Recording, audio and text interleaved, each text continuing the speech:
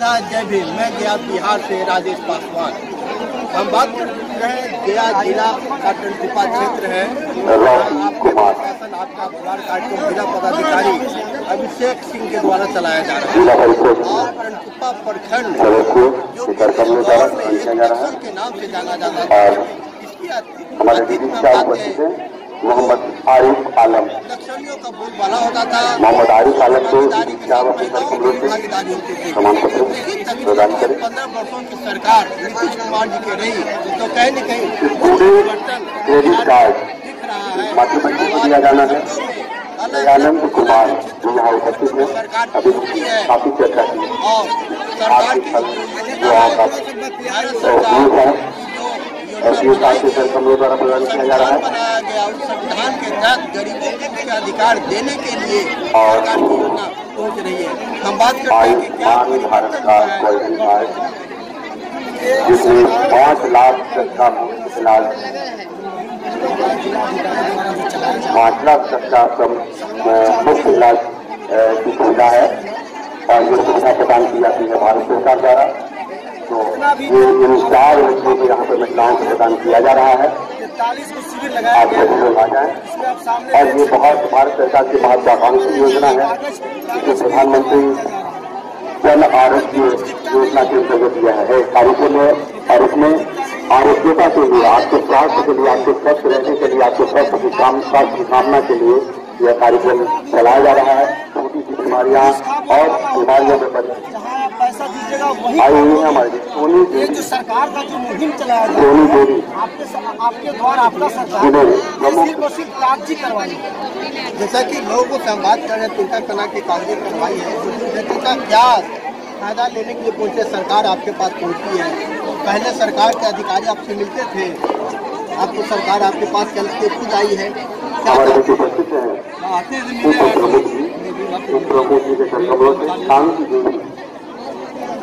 आज शांति तो सुनवाई करने के लिए सरकार लोग आए कि आज फार्म भर कर जमा कीजिए। आपको तीन महीने चार महीने। हैं तो कॉलोनी नहीं मिला। है श्रीमान कहाँ आए? हैं? को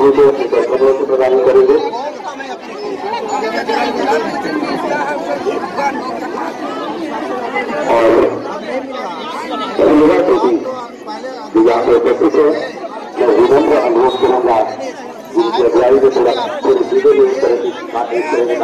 संचालन किया जा रहा है आदरणीय जिला अधिकारी महोदय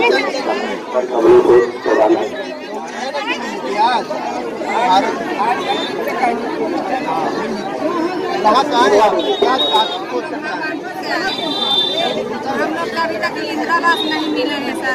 धन्यवाद धन्यवाद धन्यवाद देवी मेरा हम लोग के पति रात में खाते हैं पूरा खाते हैं चारों बैठते हैं। तो हम लोग खाते हैं अभी तक हम लोग को इंदिरा आवास नहीं मिले हैं। अभी तक हम लोग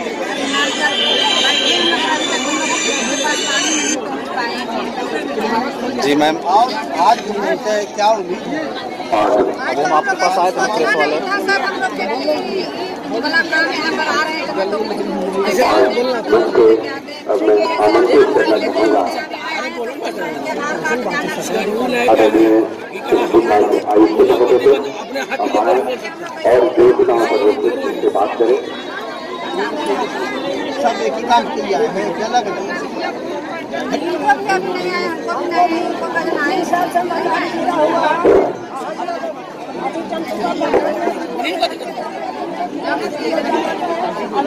आज मध्य निजागर यादव को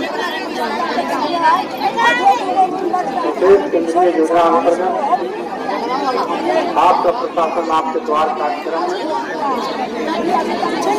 उपस्थित हमारे ज़िले के जिला पदाधिकारी महोदय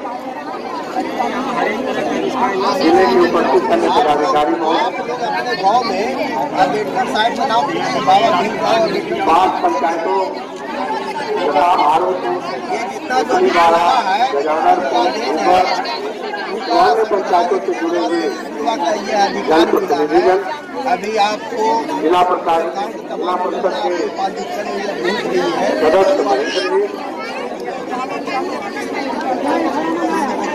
हैं कहीं न कहीं बाद जो वर्ग के लोग रहे हैं पंचायतों से आए हुए हमारे नहीं पहुँच पाए हैं और जो पहुँचे पंचायत की जनतागण जो सभी को इस तरह सबसे पहले जिला प्रशासन की तरफ़ से आप लोगों को धन्यवाद देते हैं। आप लोगों ने इस कैंप में आ करके क्या परिवर्तन लग रहा है इसमें हम लोगों का भी मान सम्मान बढ़ाया है। उपस्थिति से स्पष्ट है। यहाँ क्या योजनाओं के बारे में जानने की उत्सुकता आप में है। सबसे पहले बता दें कि हम लोगों ने गया जिला में एक सौ एक पंचायतों को हम लोग। इस योजना के अंतर्गत ली गई है। ये सरकार और इसे कार्यक्रम हम लोग को आज यहाँ पर नहीं कर रहे हैं। इसके पूर्व भी हम लोग चौदह जगह लगभग कार्यक्रम बना चुके हैं कर चुके हैं। हम लोगों ने विशेष केंद्रीय योजना के अंतर्गत नक्सल प्रभावित पंचायतों में है के आने का जो इमामत से सलैया से हम लोगों ने शुरू किया था कार्यक्रम। सलैया के बाद हम लोगों बाटे बाज़ार का निशान भी किया। आपको दिखाएँगे। डोमरिया का धोखा में किया। टेकारी का मुबारकपुर में किया। गुरारों का टिया में किया। इसी तरह डोबे में किया और सारे पंचायतों अभी आपने आगे आपके गुरबा में भी हम लोगों ने किया था प्रोग्राम। तो हम इसके माध्यम से आप लोगों से जुड़ने का हम काम कर रहे हैं। और हम चाहते हैं कि आप जिला प्रशासन के साथ जुड़ करके सरकार द्वारा संचालित योजनाएँ की संविधान किसने लागू उसका हम लाभ ले सके। और क्या मिला इस विशेष केंद्रीय योजना जो भारत सरकार और बिहार सरकार के संयुक्त सचिव से चल रही है हम लोग इसमें मेधावी छात्रों के लिए गया के द्वारा। विभाग में पढ़ने वाले छात्रों के लिए छात्रावास की सुविधा के साथ भी हम लोग दे रहे हैं साथ ही नक्सल प्रभावित पंचायतों में हम लाइब्रेरी का निर्माण कर रहे हैं। लोगों को मनोरंजन के लिए हम लोग डीटीएच टीवी दे रहे हैं। साथ ही सामुदायिक भवन का भी निर्माण हम लोग कर रहे हैं। आज जिला प्रशासन कहीं न कहीं नीतीश जी का जो इसमें बहुत सारी योजनाओं का कार्यान्वयन कराया जा रहा है। और यह हमारे जिला पदाधिकारी के कुशल नेतृत्व में संभव हो रहा है। पहुँचाने के लिए। आने वाले दिनों में हम लोग और पंचायतों में लेके जाएँगे। दूरस्थ पंचायतों में लेके जाएँगे। और आपको हम योजनाओं का भरपूर लाभ देंगे। कैंप जबकि जिला लोग जाने वाले तो जाते हैं। यहाँ पर कैंप का मतलब ये हुआ कि हम लोग सारे जिला के लोग यहाँ पर हैं। और कैंप में जितने भी लोग आवेदन दे रहे हैं या लाभ प्राप्त करने वाले हैं देना चाहिए। वे आज अपना लाभ प्राप्त करेंगे जो रिपोर्ट करना होगा काम। जिसके लिए कोई समय सीमा निर्धारित नहीं है। मुझे काफ़ी खुशी है और काफ़ी दिन से हम लोगों का प्रयास था कि टनकुप्पा में हम लोग ये शिविर लगाए ये कैंप लगाए। क्योंकि हमारे ज़िले का एक अगर सुदूर अंचलों या प्रखंडों में से कोई एक है और सदर में खासकर सदर अनुमंडल में तो टनकुप्पा का नाम आता है। और कभी न कभी यह क्षेत्र भी उग्रवाद से प्रभावित रहा है। और विकास की धारा यहाँ पर काफ़ी धीमी थी। लोगों तक विभिन्न सुविधाएँ पहले पहुँचने में समय लगता था।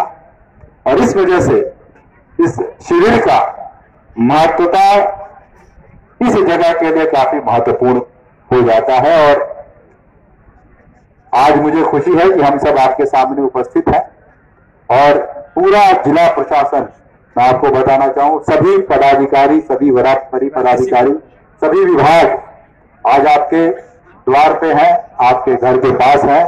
इसलिए है क्योंकि ये आपके प्रति उत्तरदायी है आपने जो व्यवस्था रखी है, लोकतांत्रिक व्यवस्था में जो आपने विश्वास किया है, जो आप सरकारें चुनते हैं, जो जनप्रतिनिधि चुनते हैं, और उस सिस्टम में जिन लोगों को जिम्मेदारियाँ दी जाती हैं, वो सब आपके प्रति उत्तरदायी हैं, और वो सुनिश्चित करने के लिए हम लोग आज आपके बीच में है कि आपकी जो समस्याएँ हैं, आपकी जो जो आपको लाभ मिलना चाहिए, जो आपके अधिकार हैं, वो कैसे आपको मिल सके, वो सब के लिए आज यहाँ पर सभी लोग उपस्थित हैं। और ये केवल एक दिवसीय कैंप नहीं है। आज ये कैंप लगाया जा रहा है। आज आपको बहुत सारी जानकारियाँ दी जाएँगी, दी जा रही है। कई जगह आप लोगों को इसका लाभ दिया जा रहा है। On the spot online registration करना हो या फिर आपकी शिकायतों को सुनना हो, उसका निपटारा करना हो, या फिर अगर कोई लाभार्थी है, किसी स्कीम में उसको लाभ मिलना है तो यहाँ चौवालीस स्टॉल लगे हैं, छत्तीस से ज़्यादा डिपार्टमेंट हैं। उसका लाभ मिलना हो या स्वास्थ्य जाँच कराना हो, वो सारी चीज़ें जो ऑन द स्पॉट तुरंत मुहैया कराई जा सकती है, वो मुहैया कराई जा रही है। और इसके अतिरिक्त ऐसी, वैसी चीज़ें जो आपने अपना आज्ञाधीन दिया है और सात से दस दिन के अंदर वो सभी चीज़ों पर कार्रवाई होके तो सुनिश्चित किया जाएगा संबंधित विभाग द्वारा कि आपको आपका नियमानुकूल अधिकार और लाभ मिले।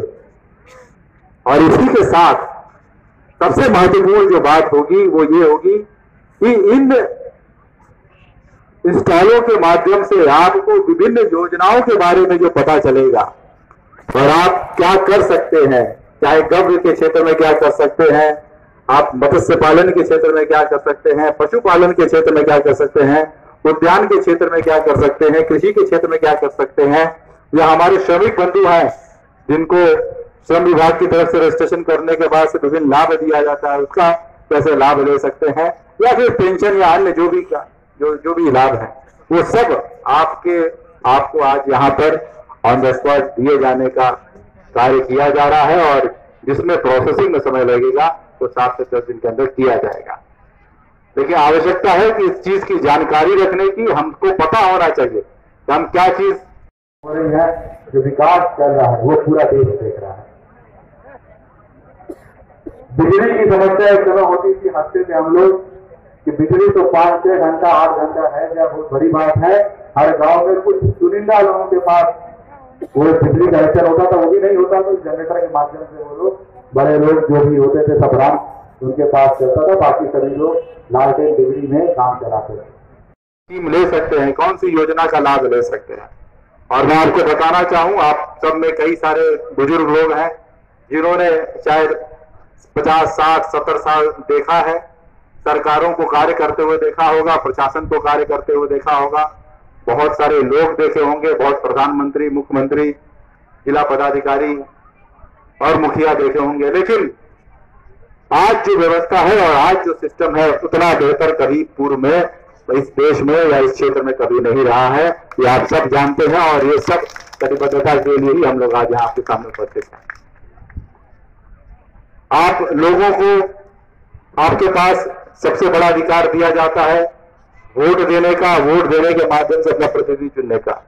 चाहे वो पंचायत स्तर के प्रतिनिधि हो, चाहे वो जिला स्तर के प्रतिनिधि हो, चाहे वो राज्य स्तर के प्रतिनिधि हो, या फिर देश स्तर के प्रतिनिधि, वो सब आपके इस वोट पे निर्भर करता है। और वो चुनने के बाद उनकी ज़िम्मेदारी होती है कि आपकी समस्याओं का निराकरण किया जाए और आपकी जो आवश्यकताएँ हैं उनको नियमानुकूल तरीके से कैसे पूरा किया जा सके। और इसलिए इस तरह की व्यवस्था का इस तरह का उत्तरदायित्व का इस तरह का पारदर्शिता का होना बहुत आवश्यक है। और उसी सिलसिले को उसी चीज़ को आगे बढ़ाते हुए आज हम सब आपके बीच में भाई हमारी है कि अपना अपना काम करें और हमारा वाटर लेवल ऑटोमेटिक ऊपर आएगा। हम लोग वाटर हार्वेस्टिंग करवा रहे हैं। हम लोग सोफिट बनवा रहे हैं। हम लोग टपकन सिंचाई परियोजना कृषि विभाग से करवा रहे हैं। तो और हम लोग फॉरेस्टेशन कर रहे हैं।